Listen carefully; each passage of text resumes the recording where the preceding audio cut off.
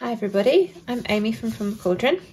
Today I'm going to be hand painting some lovely cotton floss that you can see right here.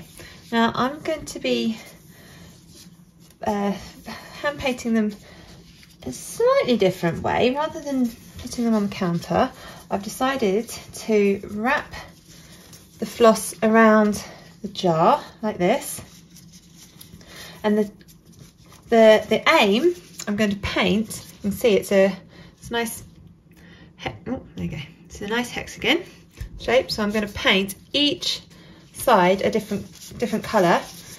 So hopefully we'll get some nice even stripes.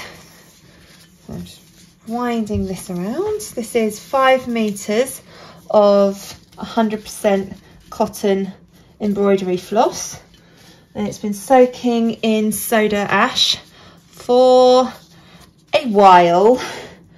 Uh, and I've got some green here as well that I'm also going to to do to paint. I don't know if uh, I'm going to use different colours on the green and on the white. I haven't quite decided. We'll see how it I'll paint the white goes first and then see how it goes. Two more little jars. All of these this equipment uh, is all dedicated for dyeing. I don't use it for any food preparation at all. So I'm going to take a tiny bit of lavender fibre reactive dye from Dharma.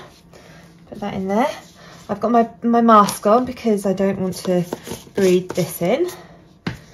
And I'm just going to add a little bit of water. That a nice stir and get it all to dissolve.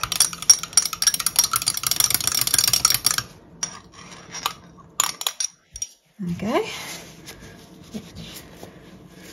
Make sure this is dry. And then I'm going to go for, again, a tiny bit of sweet pea. Okay, and again, water. I think these colours will look really nice together. Right, take my mask off now as dye is in solution. Alright, and I'm just going to start painting. I think I'll start with sweet pea and just do that one. Start with the white and just dab it on there. Oops. Right. I think, okay, I think I'm gonna have to use the same color for both. Right, and that needs a bit more powder in as it's very, very pale. So back go, um, back goes my mask. And a bit more sweet pea.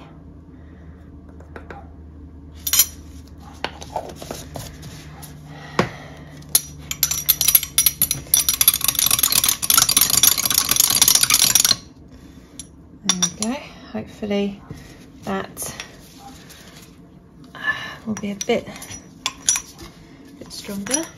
Let's see.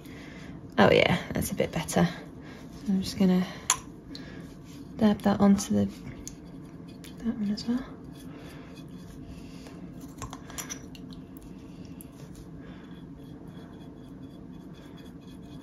Okay, and then I'm going to miss one and go onto this side.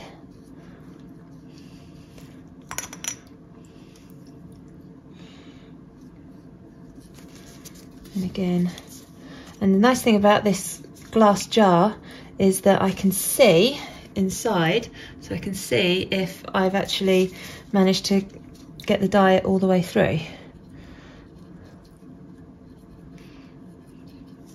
Okay, so sweet pea. Let me give that brush a little clean off. And go for the lavender now. See how this looks. All right. Again, I think I'm going to need a bit more dye in there because that's very pastel. Oh, actually, Actually, that's quite nice. Maybe I don't need any more dye.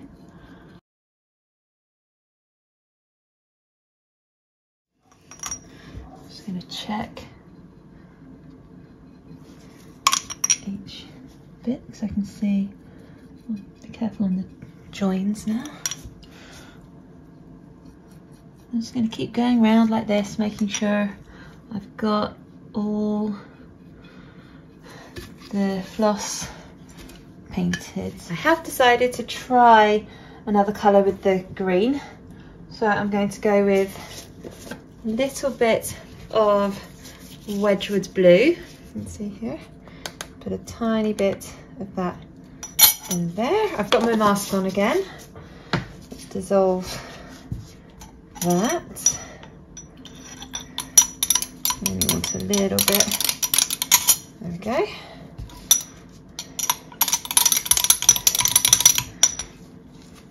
And make sure that's nice and dry. I'm going to have a little bit of turquoise here as well. And just the tiniest amount. And okay. Now I'm gonna paint, try and paint this again.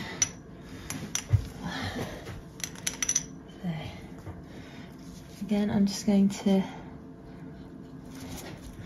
so this is with, this is with uh, Wedgewood Blue. Let's see.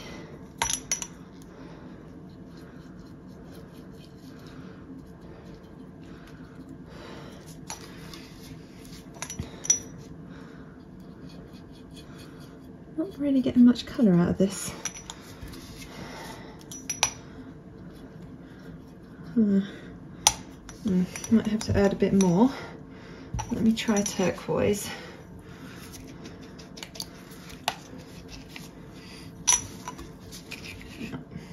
Over there, out the way. Oh yeah, that turquoise is much brighter. Okay, so I need to add a little bit more to Wedgewood Blue, but that turquoise is beautiful.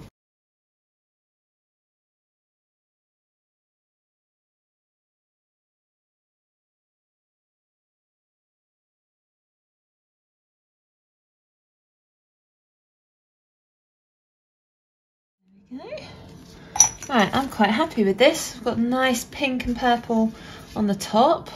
It looks like it's all done. And again, with the green, not green, the blues on the bottom. You can still see some of the green through there, which I'm really happy with.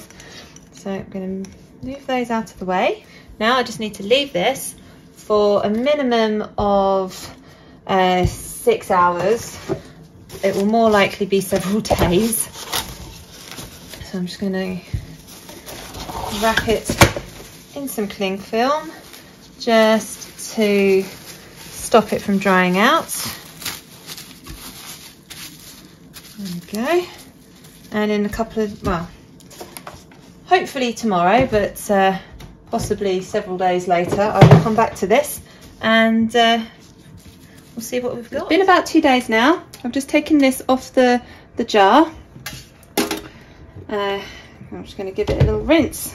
A tiny bit of washing up liquid just to try and get the any excess dye off, but looks like it's pretty, looks all pretty good. So I'm just to rinse this out and then hang out to dry. And here's our finished dyed cotton. You can see the, the pink and purple one, definite purple, definite pink patches, and I just think that looks really pretty and that will look really nice sewn up. And then we've got the blue one, which was green floss, dyed blue, and the uh, I think that was the Wedgewood blue sections there, where they're quite almost silver in the light. And then you've got these really nice sort of aqua green bits, which was, I'm guessing was the turquoise. You can see it, it is different from the original, but it's quite a subtle difference from the original colour. And again, I think this will look really nice sewn up. maybe I'm thinking maybe a mermaid a mermaid silhouette might look really nice in that one and maybe some sort of witch or, or fairy silhouette with this one I think would look really good so I really hope you enjoyed this video uh, and my unusual hand painting methods uh, please click like and subscribe to my YouTube channel. I aim to produce a new dyeing tutorial every Monday. Sometimes it's yarn sometimes it's embroidery floss sometimes it's Aida. so please remember to subscribe. Thank you so much for watching